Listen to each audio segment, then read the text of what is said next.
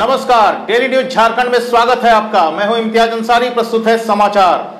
रंका से हमारे संवाददाता प्रदीप साव की रिपोर्ट। कृषि बिल कानून को लेकर एन एच तीन को किया जाम, गाड़ियों की लगी लंबी लंबी कतारें। संयुक्त किसान मोर्चा की ओर से तीन कृषि कानून बिल को वापस लेने की मांग को लेकर कृषि बिल के विरोध में रंका में महागठबंधन, झारखंड मुक्ति मोर्चा, भाकपा माले सहित क्षेत्रीय पार्टी के नेतृत्व में रंका पुल मुख्य मार्ग एन एच जाम कर दिया गया।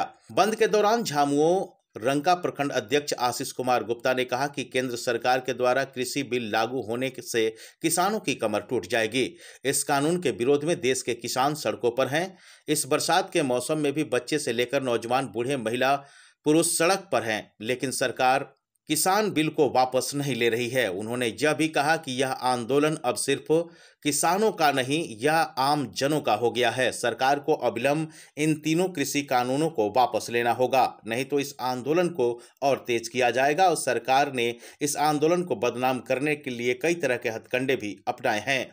मौके पर झामुओं नेता औरंगज़ेब अंसारी ने भारत एक कृषि प्रधान देश है, हमारे भारत का किसान दस महीने से अपने हक व अधिकार के लिए आंदोलन कर रहे हैं, फिर भी केंद्र सरकार उन लोगों पर दया दृष्टि नहीं दिखा रही।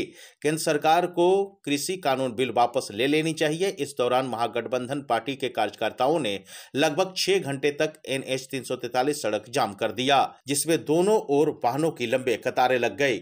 इस मौके पर झारखंड मुक्ति मोर्चा पार्टी रंका प्रखंड युवा अध्यक्ष दीपक सोनी, मुकेश तिवारी, इरफान अंसारी, अफ्ताब आलम एवं सभी राजनीतिक पार्टियों के कार्यकर्ता उपस्थित थे।